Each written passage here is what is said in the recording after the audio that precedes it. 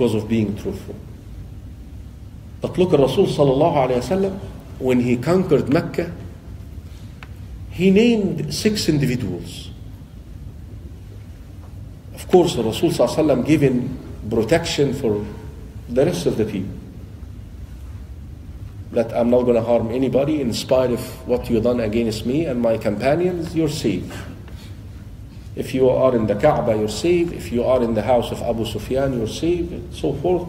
But he said to his companions, six of them, kill them even if they are hanging at the curtains of the Kaaba. اقتلوهم ولو كانوا معلقين بأستار الكعبة. Akrimah, the son of Abu Jahl. When his father Abu Jahl was killed in Badr, Akrimah, oh, furious. He took on actually, you cannot imagine what he did against the Messenger of Allah. Some of you may not know that him and Khalid were the one who broke the Muslims in Uhud. We always cite Khalid ibn al-Walid. Also Akrimah was on the other side. Abdullah ibn Abi Sarh, Maqisa ibn Subaba, Abdullah ibn Khatal, and two women, six of them. Akrimah is our man here, radiallahu anhu.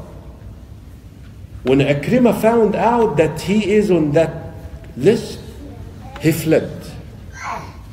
He went to Jeddah, got on a ship, running away. He's going to be killed. Subhanallah, in the middle of the sea, in the middle of the sea, a storm erupts. Huge storm. Look, everyone on board of that ship is a kafir, is not a Muslim. So the captain of the ship stood up and he said, أيها الناس, everybody on board here, اعلموا أنه لن ينجيكم اليوم إلا الإخلاص اللي هو لا إله إلا الله يعني No one can save you except the true God now. These idols that you shape and الهمبكة بتاعتكم دي انسى. None can save you but Allah. So let's call upon Allah truly, the true God now. The true God. Why يا إخوان في الفطرة when you have in, inside you, you know. You know.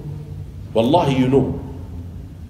Well, sometimes we get hit by these calamities in order to what? To remove and abolish, clean up all these veils on the surface, the surface of our fitrah, so that it's clean, it, it, it's exposed again, it's back. And, and even the kafir knows this. Even the kafir knows this. يعني the father of Imran ibn Hussein, his name is Hussein ibn Ubaid, he came to the Prophet and the Rasul asked him, How many gods do you worship?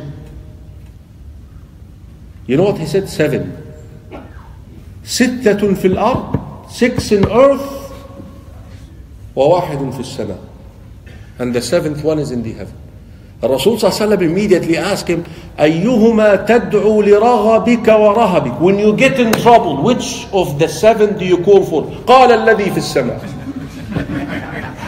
the one in the heaven معروف so these six are what for fun these are just to satisfy what the hollowness inside you that Imagine the captain is not a Muslim. He's telling me only Allah can save that ship and save us. Look at Akrima now, and we go back to the promise, being truthful. Again, I didn't, I didn't sway away from the subject. I'm back to the subject. Akrima said, Man, if these idols I've been fighting the Muslims and the messengers for cannot help me right here, cannot help me in this situation, then they, des- they, don't, they do not deserve me to worship them out there, nor they deserve me to fight the Muslims for them.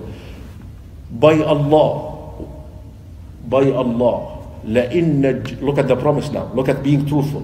لئن نجاني Allah, if Allah will save me, if Allah will save me from this.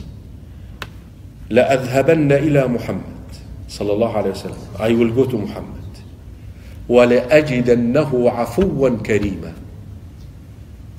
and oh Allah you will make him pardon and forgive me so that I can serve this deen وكان Allah subhanahu wa ta'ala saved the ship and he went back to the Prophet sallallahu alaihi wasallam and he accepted Islam. You know Akrima ya ikhwa, the son of Abu Jahl, the pharaoh of this ummah. He was killed in a battle called the Yarmouk. Later, after the time of the Prophet sallallahu alaihi wasallam, bringing Islam to Syria, to Sham, and he suffered so many wounds. He was in pain. And one of the last things that he used to say, أتلك ميتة ترضي عني رسول الله صلى الله عليه وسلم. If the Messenger of Allah would see me like this, he would be happy. Did I pay back? Did I fulfill that promise? Again, Allah enabled him because what? He was what? Truthful. So you may sit here tonight and say, I want to be upright on that day. I want 218 to be my year of five daily prayers. Never abandon them, never. But if there is no truthful, not Allah is not going to guide because Allah is the one who's going to do it. And I, hate to use that line, but it, it's it's so you can't be plastic with Allah. You can't be because Allah knows inside you. Allah knows you. Allah made you. يعلم السر وأخفى من السر. He knows the secret inside you and deeper than that. So you can't pretend with Allah. You have to be what? You have to really mean it. And when you mean it, brothers and sisters in Islam, Allah will guide you to it. But